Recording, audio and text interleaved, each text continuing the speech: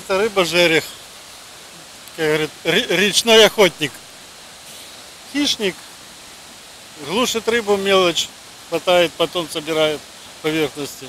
Настоящая рыбалка начинается с настроя, уверен рыбак со стажем Владимир Тямов. Собираясь рано утром на рыбалку, он берет все необходимое снаряжение – спиннинг, патокормку, рыболовное ведро. Первый заброс, первая поклевка, первая рыба. Иногда заветный улов нужно ждать часами, но в этом деле именно терпение – залог успеха. Брещанину похвастаться есть чем личный рекорд – толстолобик весом почти 23 килограмма. Хобби это такое, что, знаете, как это адреналин, это болезнь, можно сказать.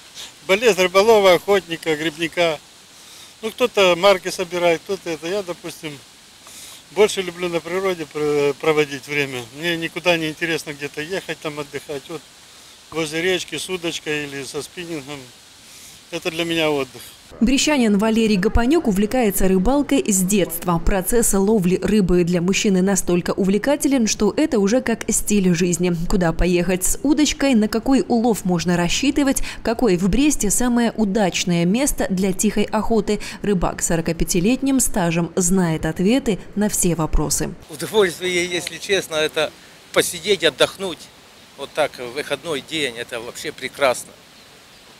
На воду посмотреть, вот э, образ жизни. Ну а если что еще поймаешь, то вообще разная рыба есть. Здесь практически разная. И, и судак есть, ну смотря на какие снасти ловить. Вот сейчас я сижу там, ну где плотва попадет, клейка какая. Ну, ну так, ради спортивного интереса. около 6 тысяч э, активных членов БОР рыболовов-любителей, которые занимаются э, этим увлечением.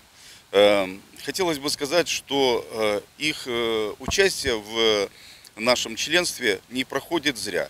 Э, Все средства, которые мы получаем от э, рыболовов-любителей, направляются на благое дело. Это прежде всего на зарыбление э, водоемов фонда запаса, там, где они принимают активное участие в рыбной ловле.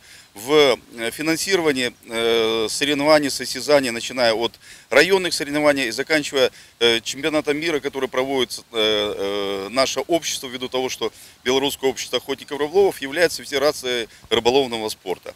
Также на проведение э, различных акций Рыбалка – увлечение массовое и хорошее, если, конечно, соблюдены все нормы и правила. А вот незаконная рыбалка может сильно ударить по карману. Сотрудниками Брестской областной инспекции охраны животного и растительного мира за первое полугодие 2020 выявлено и составлено 238 административных правонарушений, возбуждено 8 уголовных дел, изъято 35 километров сетей и 258 других запрещенных орудий лова рыбы. за использование э, запрещенных любительских в рыболовстве снастей.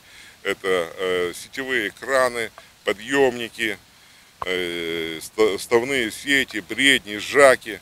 За их использование уже сразу нарушителю грозит штраф в размере 20 базовых величин.